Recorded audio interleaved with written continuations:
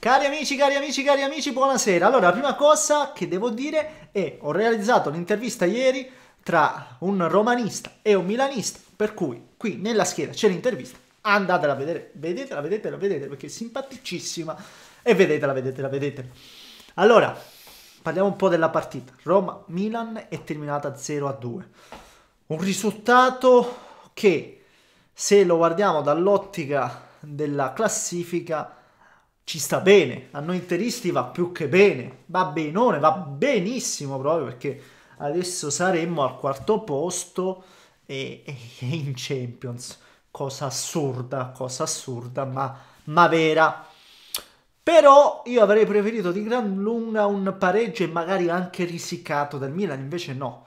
Il Milan è andato lì al, a Roma, ha imposto la propria leadership, non dico il proprio gioco perché da un punto di vista del gioco non è che mi entusiasma poi chissà quanto, però ha imposto la propria leadership perché questi hanno una fame assurda, cioè con Gattuso eh, la situazione è cambiata da così a così, cioè è Gattuso, io non ci avrei scommesso un centesimo su questo allenatore perché da un punto di vista tattico resto ancora, resto ancora perplesso, ma al momento tanto di cappello perché questa squadra gioca con personalità, con coraggio, ma soprattutto con fame, tanta tanta fame, cosa che non vedo all'Inter, cosa che non vedo all'Inter.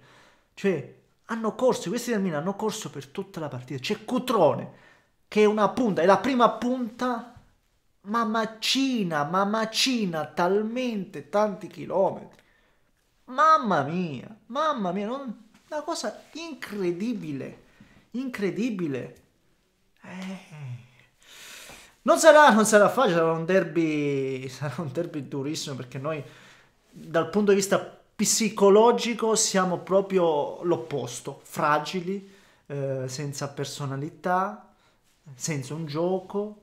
Eh, boh, una squadra accampata in aria. Mi sembra questa l'Inter e e onestamente, onestamente, magari il derby può darci, può farci ritrovare delle energie nascoste, ma energie più che altro psico, psicomentali, come posso dire, da un punto di vista mentale, perché poi il problema è la testa, il problema è la testa. Ripeto, questi giocatori del Milan eh, non, non mi sembrano poi dei fenomeni, eppure giocano con una voglia che... Eh, che gli permette di portare a casa il risultato perché va a, a minimizzare quelli che sono i difetti. È la verità, è la verità. Unico neo forse del Milan mi è sembrato molto biglia, mi è sembrato abbastanza indecente. Noi ci lamentiamo spesso di Borja Valero per tanti di quei palloni, ma Biglia ne ha persi due o tre lì in mezzo al campo, da, lì nella zona rossa dove i palloni non puoi perderne e, è, cioè, fin quando ne perdi uno va bene, ma ha fatto delle cose assurde, per cui lo vedo come un punto a sfavore. Però vedremo, vedremo ragazzi, vedremo. Cioè, cosa dire poi? La Roma, la Roma, io l'ho visto con lo Shakhtar, mi era sembrata veramente poca cosa. Questa sera un discreto primo tempo, sì, un discreto primo tempo, però contando che sei in casa, forse ti aspetti qualcosa in più. E poi ritorniamo sempre lì, lo vedete, lo vedete. Mm, per andare in Champions non è che occorra chissà quanto, non è che occorra chissà quanto. Cioè, eh, siamo lì, noi negli ultimi tre mesi forse abbiamo fatto 4-5 punti in totale e siamo al quarto posto ancora Ragazzi, se questi qua, se, se la nostra squadra si desse una svegliata, cioè tutto è possibile, ancora tutto è possibile.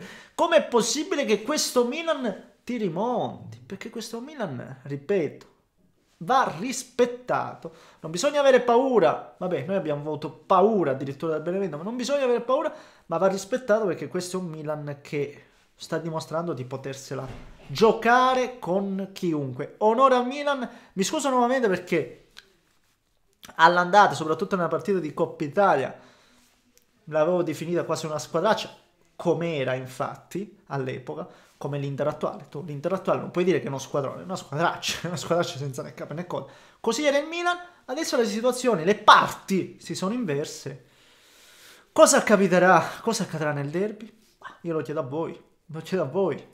Voglio un pronostico da voi, vediamo un po' che dite. Io non lo so, non, non parto per sconfitto perché i derby sono una partita a sé, però ci arriviamo male contro una squadra che invece è davvero in forma smagliante. Onore a questo Milan. Va bene, eh, andate a vedere l'intervista.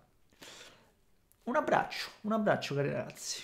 Amala, forza Inter, finché sia là, finché sia là, crediamoci. Un abbraccio!